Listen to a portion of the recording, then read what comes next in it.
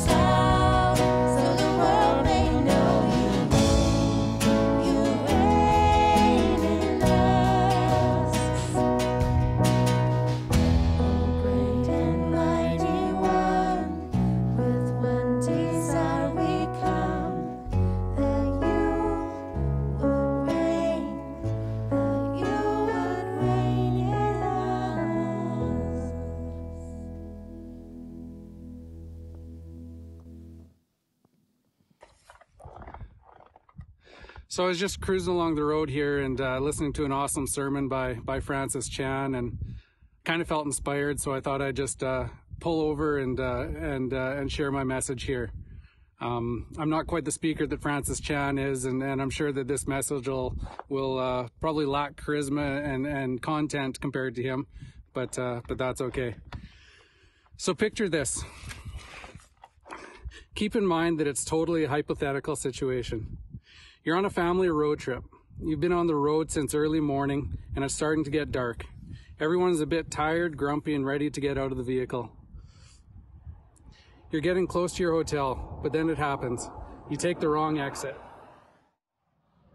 Before you know it, you're blindly making your way down residential roads in an area you've never been. You can't see the street signs because of the darkness and overhanging trees. You take a couple more wrong turns, and all of a sudden you're stuck at a dead end on a stark, dark street, wondering how on earth did I end up here? Meanwhile, Siri is saying, Turn around, you're going the wrong way, or proceed to the route, proceed to the route.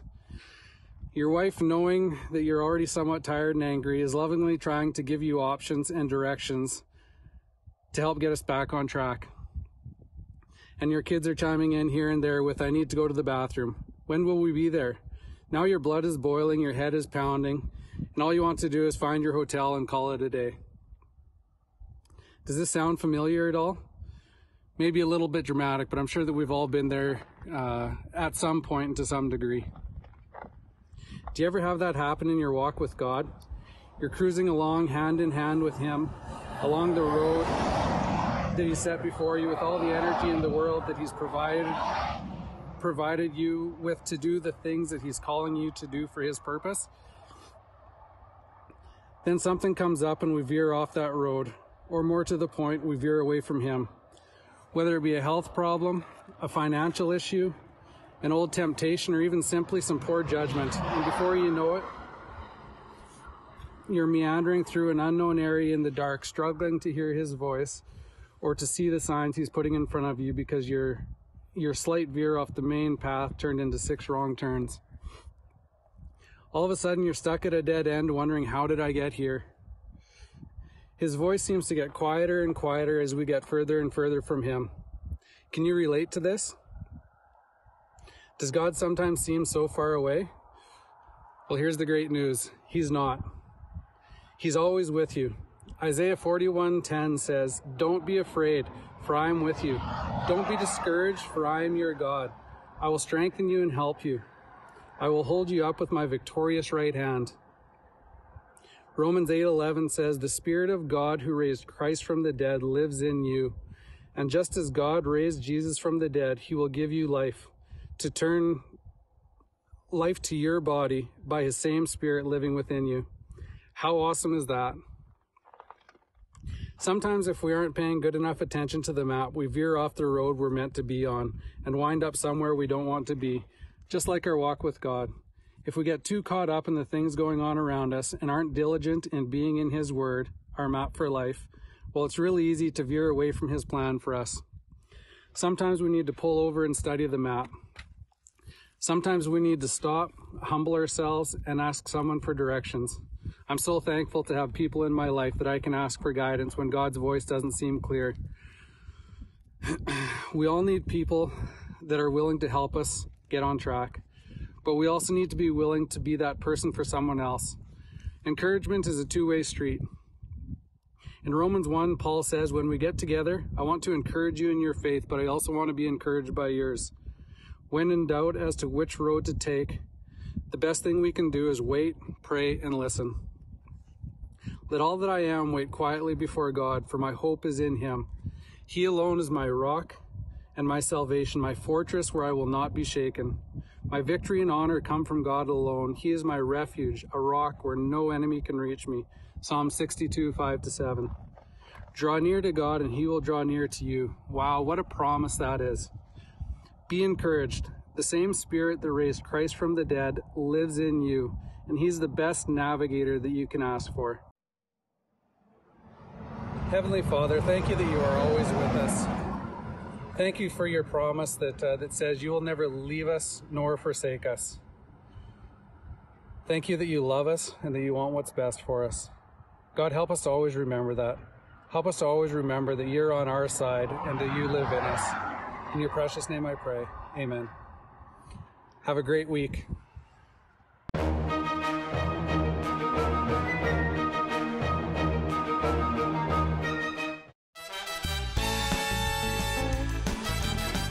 we found it!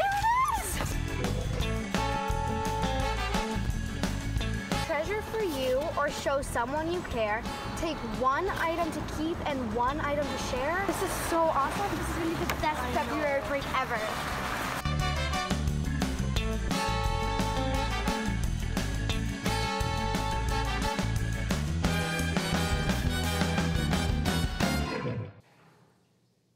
Hello, everyone. Glad you're able to be part of our service today, and I hope that you've had a great week as you followed and served the Lord. So this week, if you've been following along in our church Bible reading plan, you'll have uh, kind of read about what happens after Joseph. So like their time in Egypt and, and about Moses and coming in.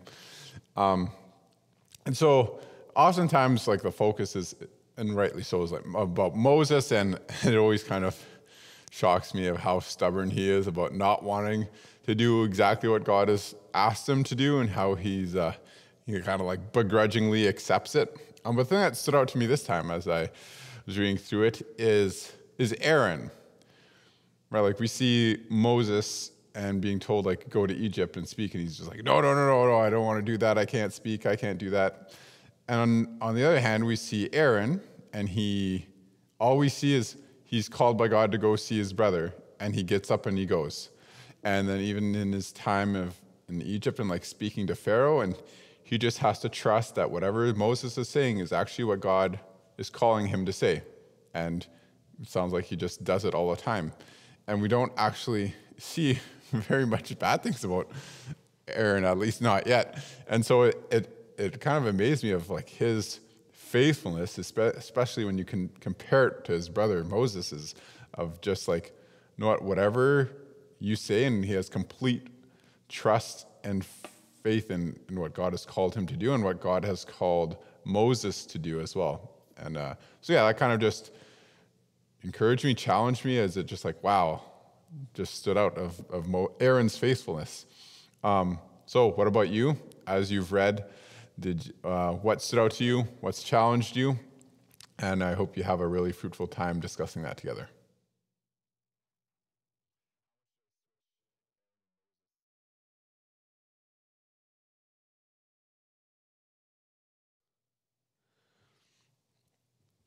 Good morning, everyone. Thanks for joining us here today. If you are or ever were a student, a parent, a child, or someone who ever learned anything, you know the value of repetition. Repetition is one of the most effective tools that we have for learning, basically, uh, basically anything, right? It reinforces physical skills and mental acuity. It moves us from conscious thought to unconscious actions, and repetition allows us to act and react with confidence. We just know if we've done it a million times, right? We see it in every area of life, from music to the military. If you're learning to ride a bike, repetition is crucial because you just have to get back on and keep going.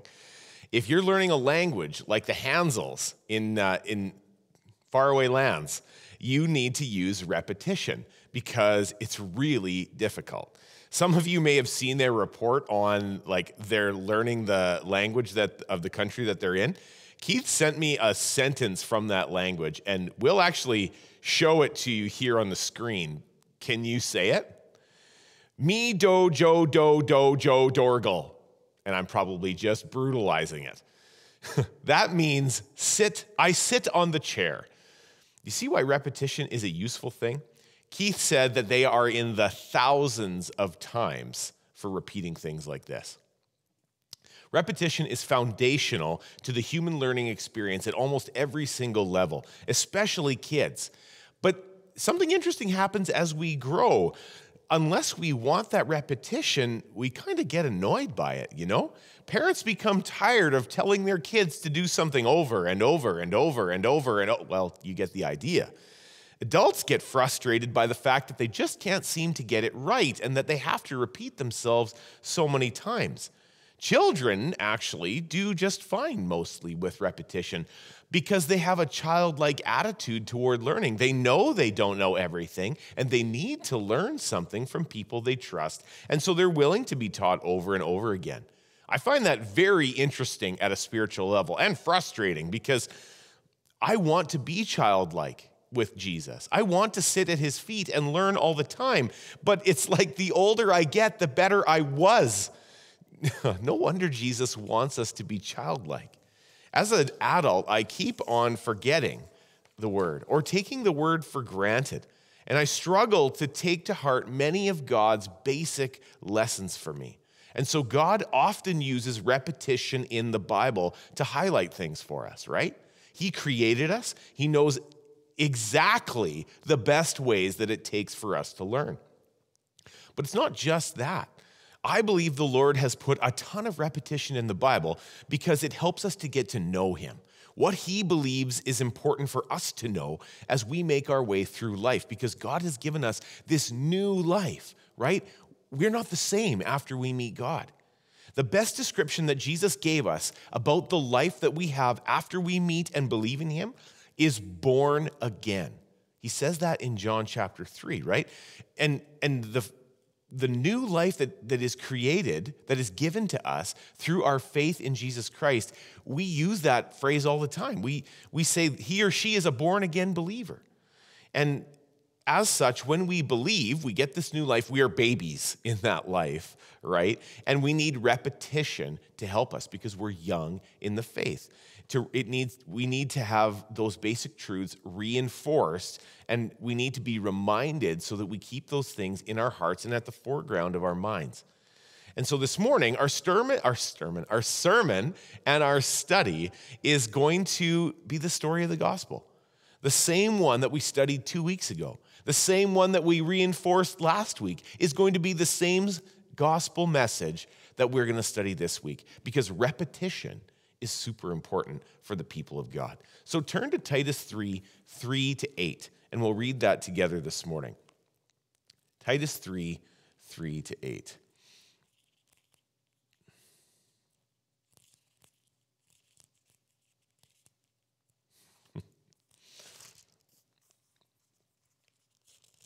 All right, here we go. Once we too were foolish and disobedient we were misled and became slaves to many lusts and pleasures. Our lives were full of evil and envy, and we hated each other. But when God our Savior revealed his kindness and love, he saved us, not because of the righteous things we had done, but because of his mercy. He washed away our sins, giving us a new birth and a new life through the Holy Spirit. He generously poured out the Spirit upon us through Jesus Christ our Savior because of his grace, he made us right in his sight and gave us confidence that we will inherit eternal life. This is a trustworthy saying, and I want you to insist on these teachings so that all who trust in God will devote themselves to doing good. These teachings are good and beneficial for everyone. So, I have a question for you before we move on in our sermon today. And my question is this why do you think God reminds us of these facts so often? I mean, he reminds us of a lot of things, but virtually every New Testament book, with a few exceptions, has a reminder of the gospel message. Why is that story so emphasized in the word?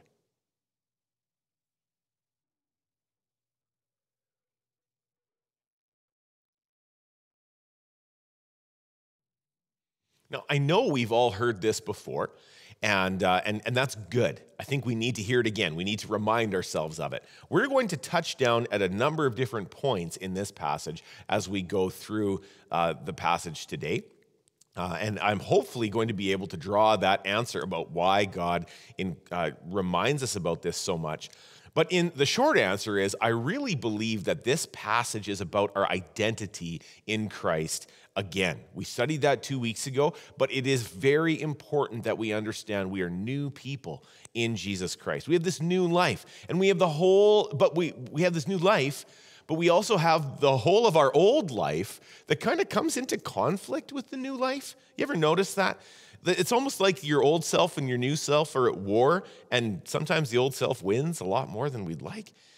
I think that's why God reminds us that we are his people so much because he knows we need it, both the reminders and, and also the fact that this of this good news of his love for us. He's always telling us this story because he's always reminding us about what we mean to him, about how much he values us, about how much he values you. You are a great value to the Lord Jesus. It's a pretty amazing thing.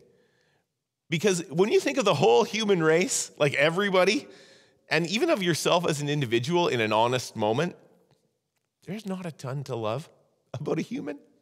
We're, we're not that great. Uh, as a group of people, all you need to do is sign on to the internet for like five minutes, maybe less, to find out how deep sin runs in us as a race. And it seems to be getting worse all the time. And then if you look into your heart, even though you think you're not that bad, there are a lot of things that we have chosen and done and thought in our hearts and done in a private moment uh, that just show that you're a sinner like everybody else. Paul uses seven words in this passage to show how we were. And those words are foolish, disobedient, deceived, enslaved, living in malice, hating, and being hated. It's not a great pedigree. and, and it's important that we remember that we were all like this before we met the Lord, and that all of humanity is like this. We were all sinners, fallen short of the glory of God. What really hit me as I studied this, just one word, I guess, like enslaved. We were all of those things, but enslaved. Like I just, addicted is the word I came up with. Addicted to sin. Seriously, right? Think about it. We still battle that addiction, don't we? Actually, that brought on another question in my mind and, and, probably yours too. Why? Why are we still addicted? Why are we fighting this? Why does sin persist in my life when Christ has given me a new one? That whole this whole passage like celebrates the new birth that we've been given. Why is sin still a part of it? Take some time and discuss that now.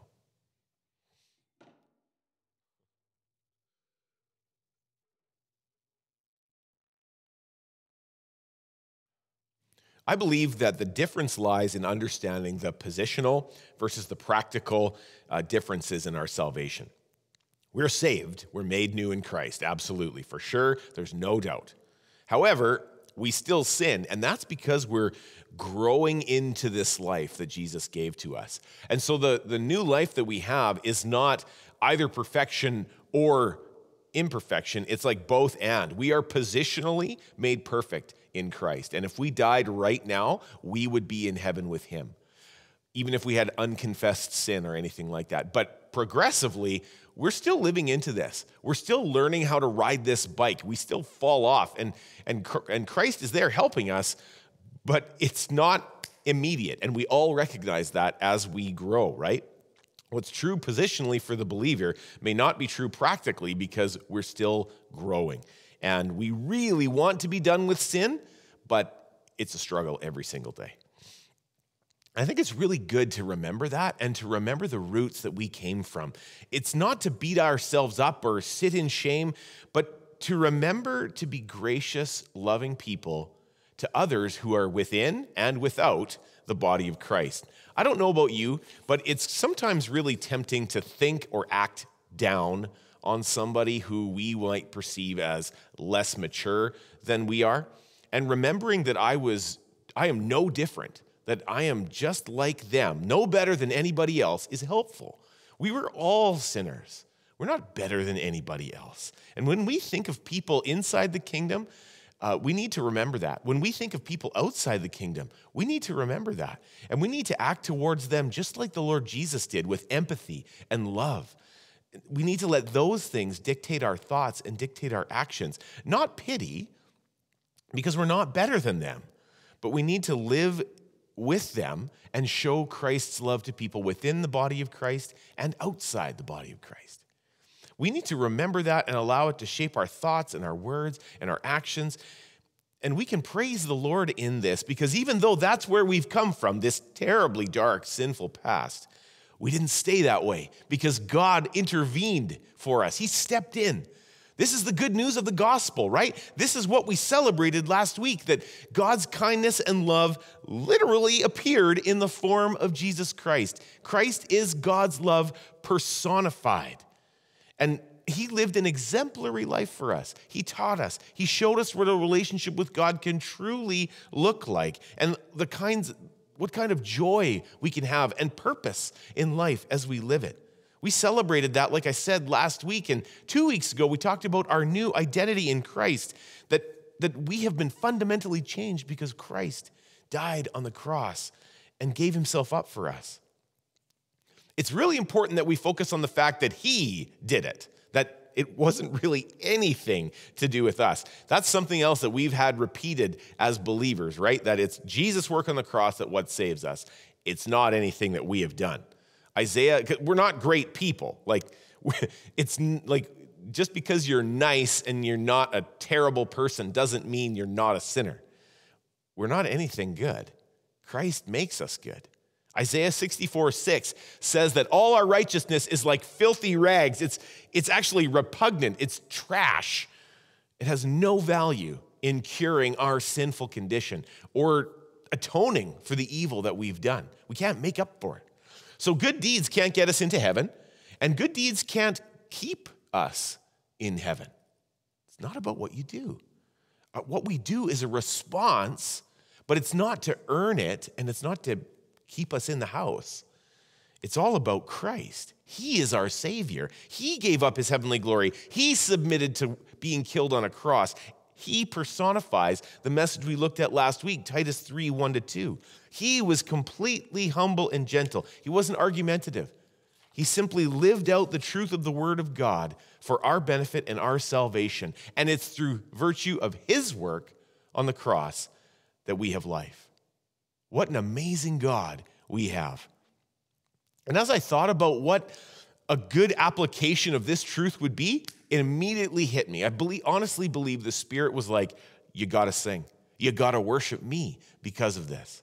When Bible characters meet the Lord in the scriptures, they fall flat on their faces and they worship. When Paul writes about this in other books of the Bible, he actually kind of transitions into a form of poetry. He starts to worship God right in the letters that he's writing. And so, in that spirit, we need to honor and glorify the Lord too. So I want us to sing. And don't worry, we have the team. I don't even have my guitar up here today, but we're gonna we're gonna put a song from the worship team in to the service here now.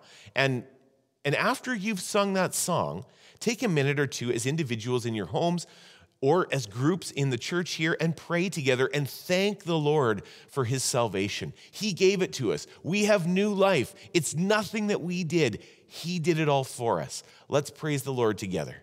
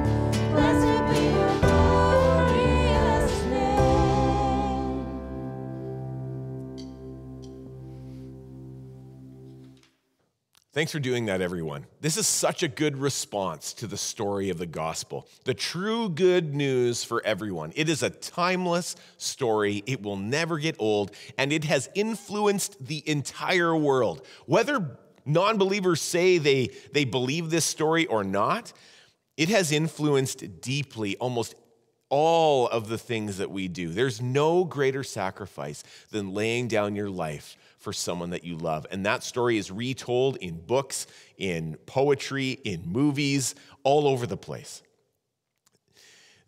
And because it's such a deep story, we can't help but respond to it, right? The gospel message requires one of two responses it's either worship or repentance. I know there's a third option, rejection, but obviously I'm not into that one. There's this choice before us this morning, and many of us worshiped when we heard this truth. But there's also the response of repentance. The Lord Jesus loves you. No matter who you are, no matter what you've done, He loves you deeply. He died to save you from your sins. He has washed you clean of sin if you believe in Him. And our hearts are pure before Him by virtue of our faith in Christ and the sacrifice that He made for us. That faith is what pleases God. It's not our acts of righteousness, it's our faith that we can do nothing but by Christ. So if you believe that and you trust him and follow him, you'll be saved from hell and be brought into the kingdom of God. And eventually, after you die, you'll live in paradise with him forever. One of the best things about this life, this new life that will last forever, is that it, la- it starts right now, that it gives us a new identity, like we talked about a couple of weeks ago with our magic outfit changes. All of those outfits were to demonstrate that we are made new. We look similar, but we're part of a new team with a new birth and an actual, real purpose on the earth that goes far beyond just accumulating stuff and then dying. We have joy. We have hope. We have satisfaction. We can see God moving through this world, and our blinders have been taken off to the sin and to the spiritual battle around us. It's amazing, and it's all thanks to the Lord Jesus and his work for us. Jesus did so much for us when he was here. But then 2,000 years ago, he went back to heaven to be with his Father and wait for the green light to come back to earth. And until this, until that time, the third person of the Trinity, the Holy Spirit, is the one who is with us right now. He's the third person of the Trinity. And God has given us new life and new birth through the Holy Spirit. The Spirit has been poured out generously on us through Jesus Christ. So if you're counting, that's three, three people that I've talked about God the Father, God the Son, and God the Holy Spirit. We know that as the Holy Trinity, and it is a wonderful mystery. We're going to show you a picture right now, and I'm going to try to explain how the Trinity is impact or it's not impacted depicted here in this passage. If the trinity is a bit confusing for you that's okay. It's confusing for me too sometimes. This passage might actually help a bit by showing you that all three persons of the trinity are involved in the process. You can see from this picture that god the father goes into god the son goes into the holy spirit. They're three distinct persons but they're all one together God sends Christ. God the Father sends his Son, Jesus Christ, who does the work of salvation, submitting to his Father. That work washes us clean of sin, and through the Holy Spirit gives us new birth and life. The Spirit's been poured out on us by the Father through Jesus' work. All three people, God, all three aspects of Him are working together and linked seamlessly into our salvation because God is three yet one. And this passage shows just how closely they're linked and just how intricately they're involved in the aspects of your salvation. It's an amazing thing, and hopefully will continue to amaze you and, and mystify you. You haven't just been rescued from sin, though, right? It's not just that God brought you out of the muck and the mire of sin, you've been cleansed.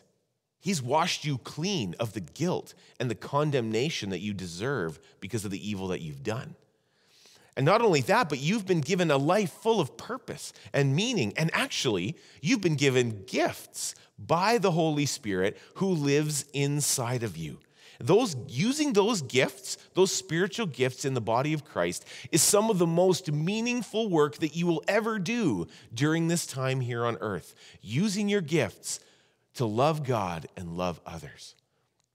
There are so many gifts of the Spirit, and some of them are mentioned in Scripture, but I believe that there are so many more gifts that God has given to people. We can see it, right? There are so many people that have so many amazing talents and abilities within the body of Christ, and they come to us by the Spirit. But sometimes, depending on your background, we can somewhat neglect or be maybe even intimidated by the Holy Spirit. Because even though the word says that he's our advocate, even though the word says he prays for us with groans that words cannot express, we sometimes struggle with the, with the Holy Spirit. And I'd like you to discuss that a little bit and, and maybe even share your background about how you were taught about the Holy Spirit. Do you think that it's possible you've misunderstood the Spirit and his role in your life? Would you say you need to understand the Spirit better? Why?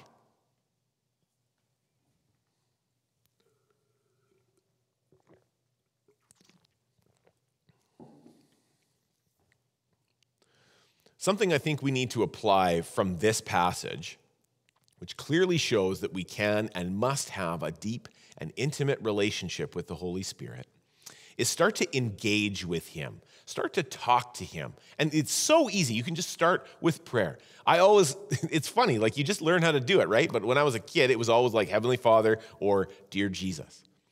Rarely did my parents engage the Holy Spirit, not because they didn't believe he was God, but just because probably their parents also did that. I think we need to engage the Holy Spirit and start by asking him things. And I know that they're all the same, but maybe it will make a difference in how we think about the Holy Spirit from day to day, that he's intimately involved in our lives. Let's engage that. We'll go deeper with that in a minute or two here. So, where's all this going? I mean, how do all of these things come together? All of this facts, like we were this, and then God did this, and he made us into this. Well, that comes together in verse 7. Let's read that again. Because of his grace, he made us right in his sight and gave us confidence that we will inherit eternal life. So, if you have an ESV or an NIV translation of the Bible, this version or those versions read quite differently. In the ESV, for example, that verse will read, So that being justified by his grace, we might become heirs according to the hope of eternal life. Well, that is not the same as the NLT, right? The NLT talks about being right in his sight and giving us confidence that we will inherit eternal life. I know they're related, but it's actually a really interesting uh, way of translating this verse. The NLT gives you the emotional reality of what the ESV and NIV are saying. Let me tell you how, all right? what do you know about being the heir of a huge fortune? If you're me, nothing. maybe something, maybe nothing. I guess it depends on where your parents are at, right? But in literature and in movies and other places, we can see a confidence about a person who is going to inherit a ton of money in the world's eyes, this is just the best, right? There's, there's millions of dollars there for you, and all you had to do to get it was be born. Perfect. Didn't have to do anything, right? And that person has confidence because no matter what they do, this money is coming to them. So they, they live in a confident spirit because they know everything's going to be okay because they get all this money, right? Now, obviously, that's not the same kind of confidence that we're talking about. We're talking about a confidence that goes beyond millions of dollars, a better, deeper, truer confidence, because we are heirs of the kingdom of God. We are co heirs with Jesus himself. Think about that. Let that permeate your brain and your heart that you will be in heaven forever and that everything will actually be okay. Because of your faith in Christ, you're going to live in heaven with God Himself. And when you die, there is actually, that's not even there. Think about death. It doesn't matter. There is nothing to fear from death because death is the doorway to paradise for you. And when you die, you will have nothing to fear because your sin has been taken care of. You have been cleansed. You have been washed. You have a new life. And death is nothing to that. And you're going to live in paradise forever where there will be no more sorrow, no more COVID, I mean, crying, no more sadness, no more injustice forever. Joy forever with nothing to interrupt it and nothing to ruin it and no change in plans. But, there's usually a but. Sometimes it doesn't quite feel like that, does it? Sometimes we feel really unconfident, even though we have this really solid promise from God. And even though it sometimes feels super real, other times it just doesn't. So, what gives? If heaven is a promise from God for us who believe, why don't we feel confident in that from time to time? What holds back that confidence?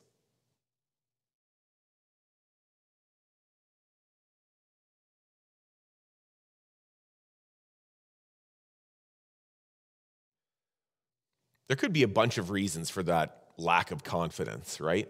I think that many times we have trouble actually believing that God feels about us the way that he says he does for a number of reasons. I mean, we know who we are and we get disgusted with ourselves from time to time.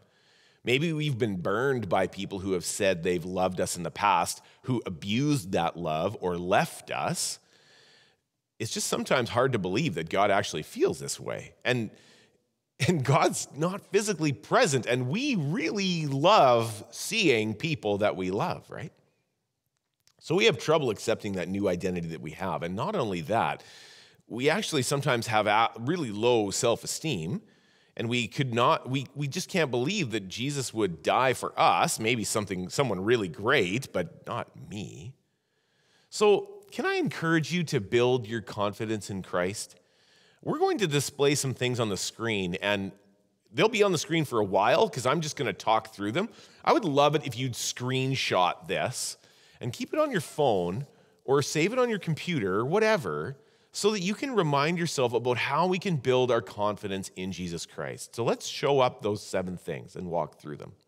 Number one, read the word, study it in depth. Once a week, I think at least once a week, you should take a small passage of the Bible and do a really deep dive into it. If you don't know how to do that, we've put together a small YouTube series that you can watch on our channel if you don't know how. But it's so helpful just studying the word in depth and learning about the Lord Jesus and, and about the Heavenly Father and the Holy Spirit. Number two, apply what you read. You may not succeed in this 100% of the time. Sometimes scripture can be a little bit difficult, but reading the Bible with the question, what should I do about this, in the foreground of your mind will really help to make you a James 122 believer. James 122 says, "Don't just listen to the word and so deceive yourself, do what it says." Number 3, pray first. Invite the Spirit into every activity you have every single day. This will help your confidence in things you're afraid of and guide you toward activities that can, you can do to the glory of God. It's kind of like a double whammy pray before everything. Number four, treat intentional sin like kissing a cobra. Just don't, you know better. Number five, unite with other believers. Do life with them. Pray with them. Tell them what you're reading. Share your deep stuff with them. Be vulnerable. Be approachable.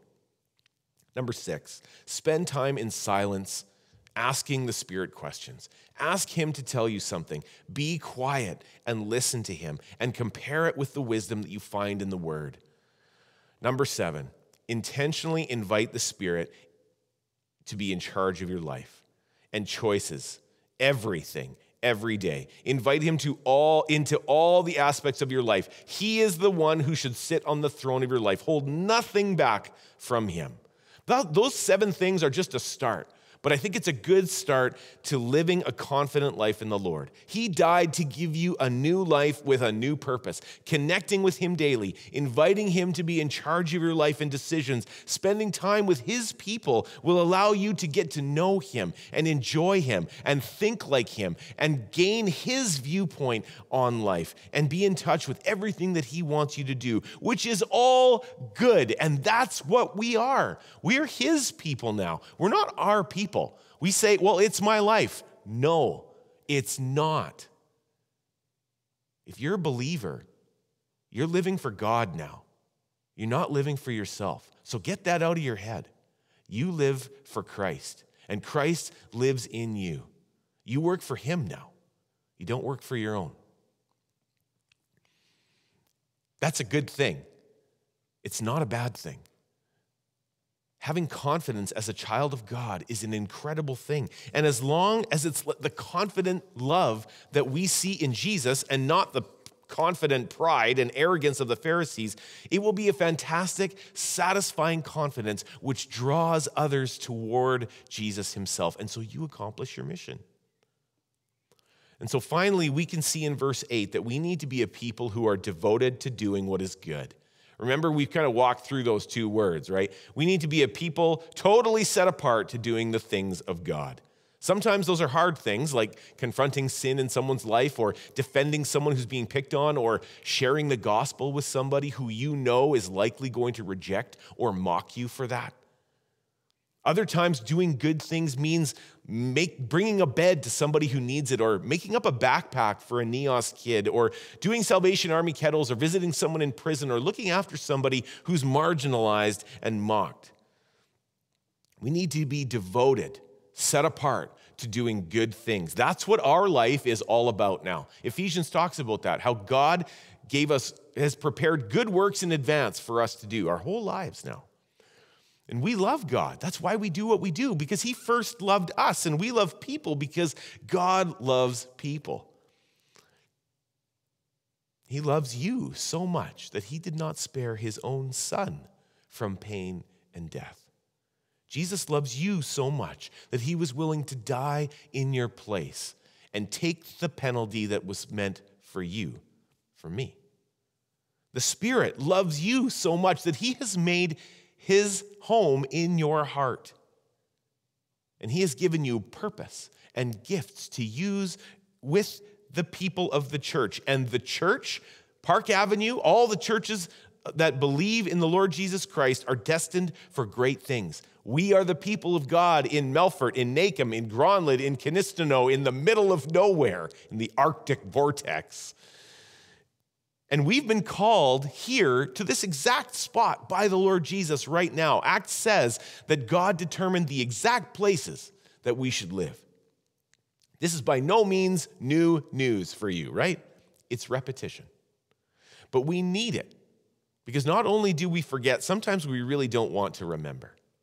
So let me remind you again because these are the important things. Jesus loves you. He died on the cross for you. He died for everyone. And this is our mission to tell others about that, to go into all the world and make disciples of these people, teaching them to obey everything that He has commanded us baptizing them in the name of the Father and the Son and the Holy Spirit. We need to love others the same way that Jesus loved others deeply from the heart. They will know we are Christians by the way that we love one another. So now, go out there and make a difference. God bless you. Let's pray. Lord Jesus, we love you. We are so grateful for your patience with us and your grace to us, that you would take time to remind us about this amazing work that you have done and about the new life that we have in you. Lord, please let us live into that life. Please make us people who make disciples, who are unashamed to share the gospel with people, even though they will reject us. Lord, make us lights in this northeast part of Saskatchewan. In Jesus' name, amen. God bless.